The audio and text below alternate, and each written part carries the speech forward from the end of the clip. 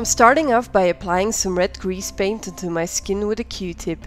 The red I'm using has a pink undertone. I'm using this kind of red because I have a pale skin with a pink undertone. Some of you might have a darker skin or a skin with a yellow undertone and you'll need to experiment with different kinds of red to figure out what looks the best on your skin.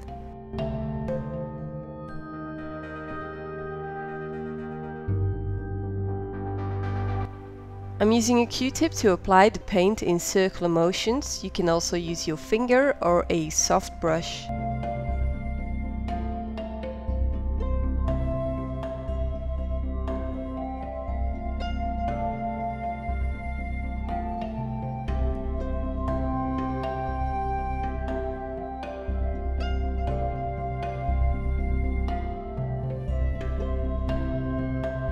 It's always helpful to look at real pictures of rashes to figure out how you want your red area to look. I'm applying some big patches and some smaller ones in between them. The small ones really help to make it look more realistic. It's important to blend everything out, that's why you should never apply too much paint at once.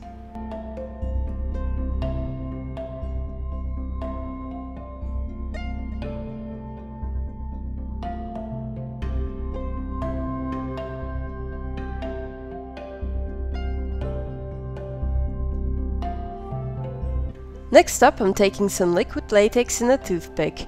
I'm using the latex to apply some small bumps onto my skin. Again, you can look at real rashes to get a better idea of what you want your rash to look like. It's important to not use too much latex, you don't want to add a big blob of latex because it will dry really slowly.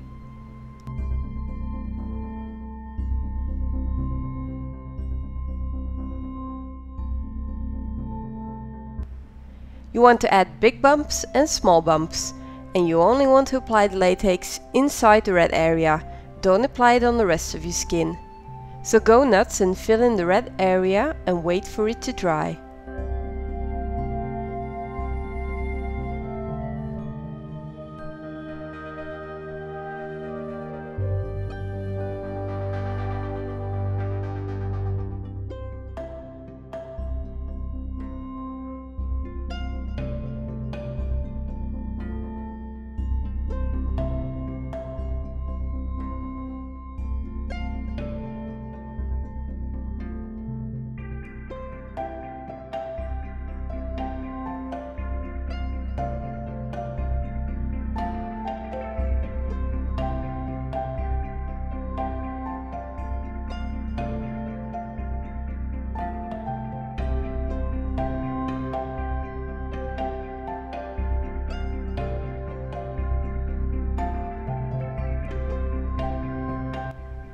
You will know your latex is dried when it has turned completely translucent.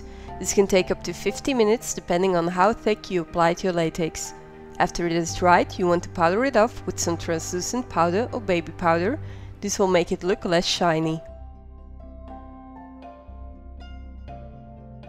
After powdering the rash area, I'm taking a q-tip with some water on it and I'm wiping off the excess powder.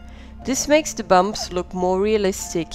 You can add more or less powder or even add some more grease paint on top of the bumps. It really depends on what kind of rash you want to create.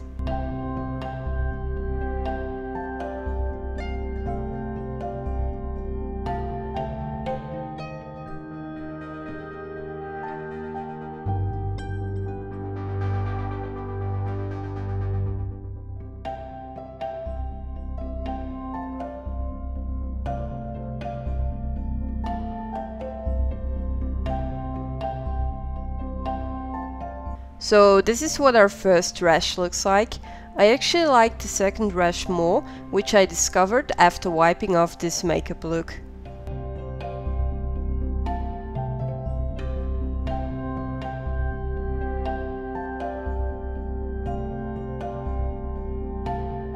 So for the second rash you want to apply some of the red grease paint you used before on the bumpy area.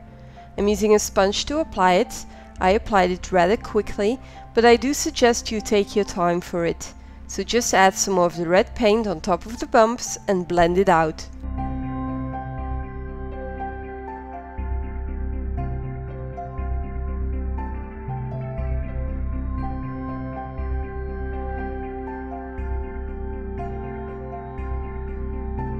After you've applied some red, you can now wash your skin with some water.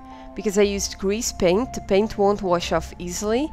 The latex, however, will be easier to peel, especially if you make a rolling motion instead of pulling every little bump.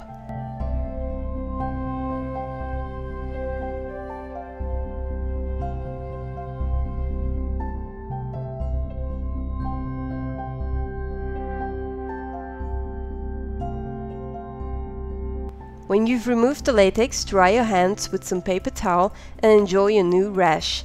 I really like this one because it looks so natural. You can experiment with the different patterns and colors and find out what looks the best on your skin tone. So I hope you guys liked this simple tutorial. If you have any questions, suggestions or requests, you can leave a comment on this video or send me a message on Facebook. See you guys until next time. Bye!